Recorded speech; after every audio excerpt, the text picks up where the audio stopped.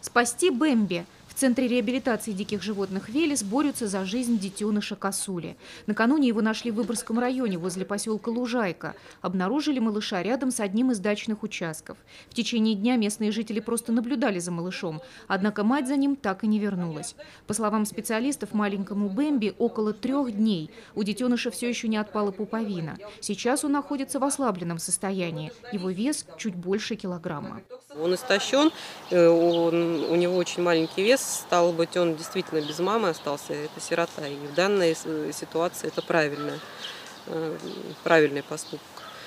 Вот, его изъяли из природы, но в данной ситуации он был погиб там однозначно. Здесь мы еще как-то пытаемся дать ему шанс. Несмотря на это, малыш есть все еще не может, не умеет, поэтому шансы на выживание у косули невелики. Если малыш не будет питаться, у него начнутся проблемы с желудком. И все же сейчас сотрудники Велеса постепенно приучают его к соске и пытаются кормить козьим молоком.